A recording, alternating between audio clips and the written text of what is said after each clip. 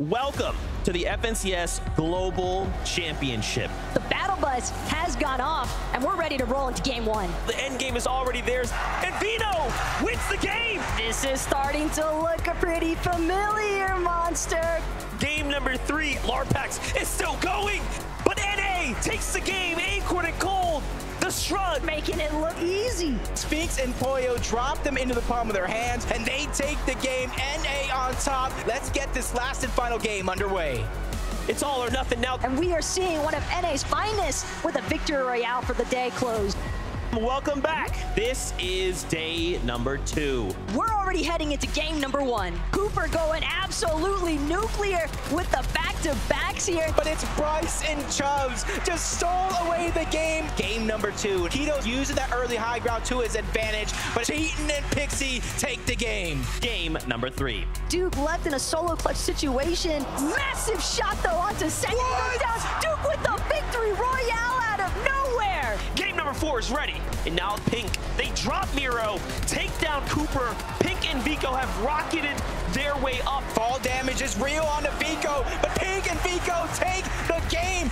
Double-digit eliminations. We are ready for the final game of the lower brackets. Fadil versus Grols. Grols goes down. Fadil takes him out. The only thing left is grand finals.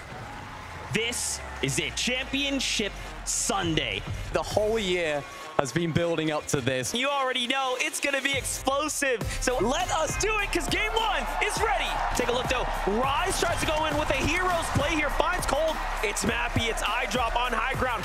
Trying to go back to back, but they fall down the mountain. That's going to allow for Poyo to survive momentarily. Oh! But Cooper hot on the chase. People forget what Mero is capable of. Running out of builds. That's his last chance. He falls all the way oh! down. Mero goes out. That is Poyo and Spinx. Here for game number two. Let's see it. Malibuca gets a weapon. He finds Agers with a huge tag. Khanada's already down, and they're finished. They're done. Peterbot is continuously oh on the hunt and a shot onto Acorn. Mero out for redemption in that last game, but he has no materials. Zone is taking him out until the final shot is in. There it goes. Pixie and Cheatin take the game. Oh, let's get on into this next one. Fadil trying to make up for him going down no early way. on in the no game. Way. He turns. Miracle run for Cooper. Already you're seeing the point spread. It's only them and Pixie and Cheatin at the top of that leaderboard. Pixie and Cheatin take their third victory royale. Game number four is ready to go. Bryce and it's Chubbs controlling the high ground now. Cold still trying to hang on, but it's going to be Bryce, it's going to be Chubbs as they take another victory royale on the weekend. I just want to see game number five. Battle bus is here. Let's go. Lucy needs to make a big decision. Find Shalom. This is Asia, but no. Threats does not let the beat drop at all. It's his chance here, but no. He falls too. Can anyone wow. stop Cooper and Mero? The final game is here.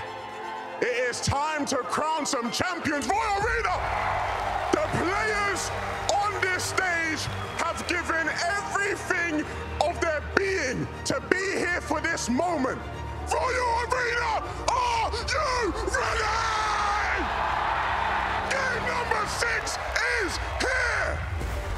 As long as Pixie and Cheatin are out, Cooper and Mero cannot count themselves global champions anytime soon. No rocket ram or anything in sight. He's just got to keep going. Vino shuts him down. And down goes Pixie and Cheatin before they can earn any points. Tayson first to fall. Cooper and Mero just continue to grow the count. Cammy goes in. Trulex finds it. Siphon comes through. It's now a one-on-one, and Trulex wins the game. But your global champions are here. Mero and Cooper from day one getting knocked out of the upper bracket to standing tall here. Lift that trophy. Congratulations, Mero. Congratulations, Cooper. How amazing it must feel to be the global champions.